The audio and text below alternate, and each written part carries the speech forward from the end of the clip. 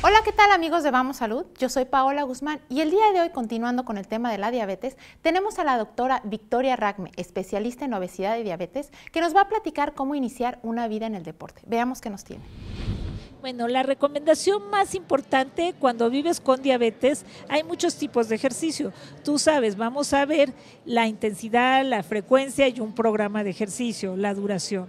Hay tablas en donde si tú quieres, además de bajar tu azúcar, poder quemar grasa, te vas con tu médico o tu consultor de ejercicio que te va a decir tu zona quema grasa, que es el 60 al 70% de los latidos de tu corazón. Cuando pones las manos en los aparatos de hacer ejercicio, te está dando tu frecuencia cardíaca. Entonces te prescriben a qué frecuencia cardíaca vas a quemar grasa. En la zona del 70 al 80% es para fortalecer tu corazón. En esta zona tu corazón tiene mayor capacidad y se está fortaleciendo.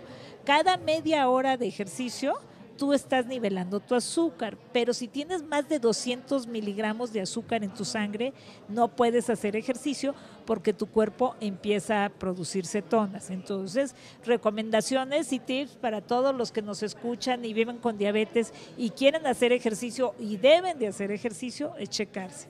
Si están altos, esperar a que disminuyan sus niveles. Si están muy pegaditos a 70, tomar un alimento que contenga 15 gramos de azúcar y que sea carbohidrato, proteína y grasa para que suba su nivel y les pueda durar esto cuando hacen ejercicio. Si viven con diabetes y tienen complicaciones en los ojos, retinopatía o lesiones en sus pies, hay indicaciones específicas. Por ejemplo, en el caso de los ojos, no hacer la maniobra de mansalva, esa de cargar pesas o como pujar, porque entonces pueden ocasionar más lesiones en sus ojos los que tienen retinopatía o han sido tratados con rayo láser. Si tienen lesiones en sus pies, hay ejercicios que puedes hacer sentados, con ligas, ejercicios de flexibilidad. Ya cuando hay complicaciones, hay los médicos expertos y expertos en prescripción de con diabetes te pueden aconsejar. Pero si no tienes complicaciones, el único impedimento sería estar en más de 250 o estar bajo o no tomar alimento y estar muy cerquita a 70 porque el ejercicio va a bajar 50 miligramos tu azúcar y te puede mandar a una baja de azúcar.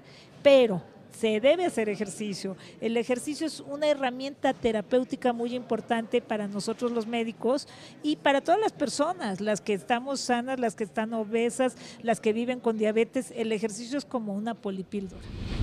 Ahí están las recomendaciones del especialista. La alimentación y el ejercicio son las bases para llevar una vida plena. Amigos, yo soy Paola Guzmán y los veo en nuestro próximo clip aquí en Vamos Salud.